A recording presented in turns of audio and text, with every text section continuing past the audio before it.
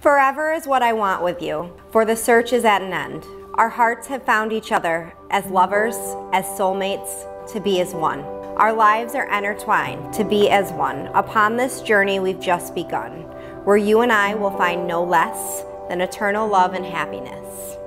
Across the years, I will walk with you. In deep forests, on shores of sand, and when our time on earth is through, in heaven too you will have my hand. Two souls fused by commitment, two names written in the stars above. Two lives intertwined by God, two hearts joined by the purest of love. As you marry on this, your wedding day, may angels smile upon you, for a single heart now beats where once there had been two. The Lord has brought to you this day through all of life's confusions to come full circle all the way. To bless your wedded union, May your days be filled with laughter and your nights be filled with peace as you grow old together, sharing happiness and ease.